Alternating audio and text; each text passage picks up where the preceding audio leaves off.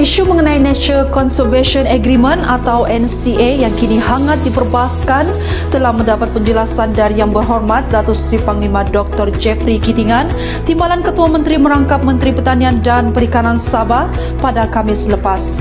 Laporan penuhnya ada pada paparan seterusnya. Teruskan bersama saya. Assalamualaikum dan salam sejahtera. Mari kita rungkaikan makna NCA dalam segmen edisi khas Sabah Hits Online TV. Penjelasan Jeffrey menyentuh tentang program NCA yang merupakan salah satu cara untuk mengatasi fenomena alam seperti bahang kepanasan global, bencana alam dan sebagainya dengan memelihara hutan rimba sepenuhnya. Beliau juga menegaskan supaya rakyat tidak perlu khawatir tentang desas-desus kehilangan tanah mereka seperti yang dikabarkan kepada mereka oleh pihak-pihak yang tidak bertanggungjawab dan punya agenda tersendiri.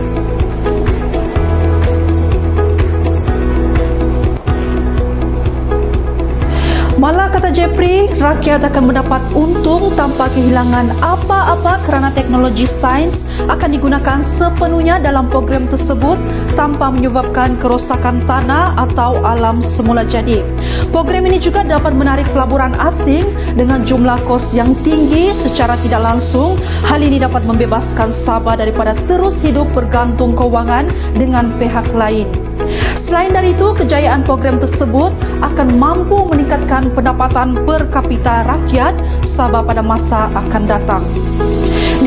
Itu juga Sabah akan mengaut hasil yang lumayan dalam program NCA ini di mana sebanyak 5 hingga 8 bilion terjana untuk sumber kewangan negeri terhasil dari kejayaan memelihara walau separuh dari 4 hektar hutan di Sabah.